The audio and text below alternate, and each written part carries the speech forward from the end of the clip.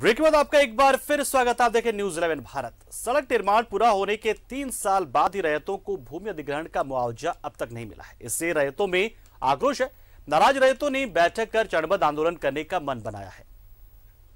खबर, पश्चिमी सिंहभूम के मनोहरपुर की जहाँ पर भूमि अधिग्रहण हुआ था, सड़क का निर्माण हुआ था, लेकिन मुआवजा नहीं मिला और इससे लोग काफ़ी गुस्से में है।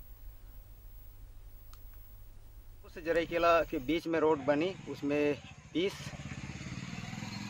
उसमें मेरा जगह रोड ले ली है। उसमें अभी तक हमको मुआवजा नहीं मिली है। अभी चार साल बीत गए फिर भी अभी तक किसी प्रकार का मुआवजा नहीं मिली। पी डब्ल्यू रेड बन रोड बनने के द्वारा हम लोग का भी ज़मीन चला गया है लेकिन आज तक हम लोग को भी मुआवजा नहीं मिला है।